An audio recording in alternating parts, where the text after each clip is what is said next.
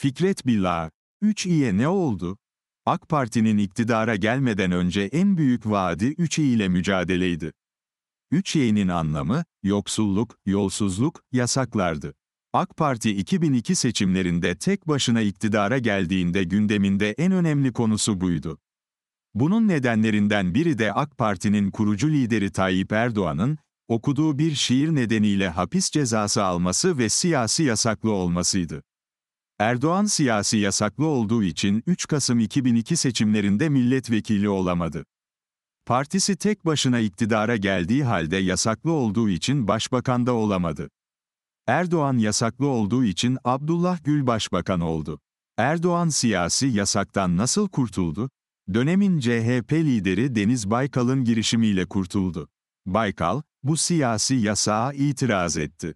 Bu yasağı kaldıracak anayasa değişikliğine de öncülük etti. Erdoğan, CHP lideri Baykal sayesinde siyasi yasaktan kurtuldu. Milletvekili seçildi ve başbakanlık görevini Gül'den devraldı. Erdoğan 2003 yılından bu yana Türkiye'yi yönetiyor. Erdoğan ve AK Parti bu gerçeği ve 3 ile mücadeleyi unutmuş görünüyor. AK Parti iktidarı yoksulluğu ortadan kaldıramadığı gibi daha da yaygınlaşmasına ve derinleşmesine neden oldu. Zengini daha zengin, fakiri daha fakir yaptı.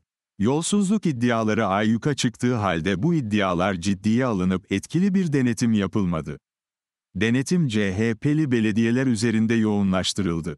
Sayıştay denetim kapsamı daraltıldı ve etkisizleştirildi. Maliye Bakanlığı Teftiş Kurulu, Hesap Uzmanları Kurulu, Gelirler Kontrolörleri gibi en yetkin denetim kurulları ortadan kaldırıldı.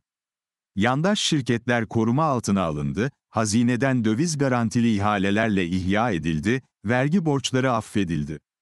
AK Parti iktidarı yoksullukla mücadele etmediği gibi yolsuzlukla da mücadele etmedi. Yasakları da artırdı, temel politika haline getirdi. Siyasi yasak önce CHP eski İstanbul İl Başkanı Canan Kaftancıoğlu'na getirildi. Gerekçe sosyal medya paylaşımlarıydı. Kaftancıoğlu'ndan sonra sırada Ekrem İmamoğlu vardı. İstanbul Büyükşehir Belediye Başkanı hakkında Yüksek Seçim Kurulu üyelerine hakaret ettiği gerekçesiyle dava açıldı, hapis cezası ve siyasi yasak kararı verildi. Dava istinaf mahkemesinde bekliyor. İmamoğlu'nun üzerinde Demokles'in kılıcı gibi sallanıyor. Neden? Çünkü İmamoğlu Erdoğan karşısında güçlü bir potansiyel cumhurbaşkanı adayı. Erdoğan'ı İstanbul'da üç kez yenen İmamoğlu her an siyasi yasaklı hale gelebilir. Şimdi CHP'nin bir önceki genel başkanı Kemal Kılıçdaroğlu hakkında hapis cezası ve siyasi yasak getirilmesi talebiyle dava açıldı. Cumhurbaşkanı Erdoğan'ın karşısına çıkabilecek Cumhurbaşkanı adayları yargı eliyle siyasi yasaklı hale getirilmek isteniyor. İktidar mücadele etmek bir yana üç iyi büyütüp, güçlendiriyor Erdoğan dördüncü kez Cumhurbaşkanı seçilebilsin diye yol temizliği yapıyor.